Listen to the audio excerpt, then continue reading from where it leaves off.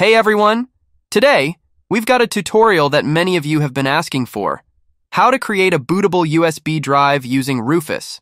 Whether you're looking to install a new operating system or run a diagnostic tool, having a bootable USB is a handy skill to have. So let's dive right in. The first thing you'll need to do is download Rufus. Visit the official Rufus website and download the latest version of Rufus.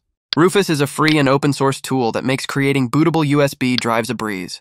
Once the download is complete, go ahead and run the Rufus executable. Next, make sure you have your USB drive handy. Plug it into an available USB port on your computer. Now, let's configure Rufus. On the main screen, you'll see a few options. Select your USB drive from the drop-down menu under Device. Click on Select next to Boot Selection and choose the ISO file of the operating system or software you want to make bootable. For partition scheme, choose either MBR or GPT based on your system architecture. If you're not sure, check your computer's documentation or use the MBR option, as it is more widely compatible. Choose the appropriate file system, either NTFS or FAT32. You can leave cluster size at the default setting. Once you've configured the settings, click on the Start button. Rufus will display a warning that all data on the USB drive will be destroyed.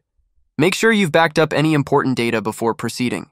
Click OK to confirm, and Rufus will start creating the bootable USB.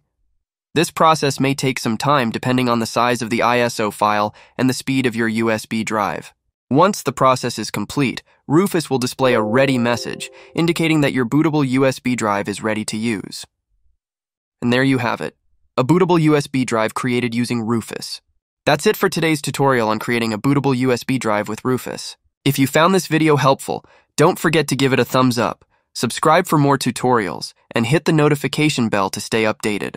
If you have any questions or suggestions for future tutorials, leave them in the comments below. Thanks for watching, and I'll see you in the next video.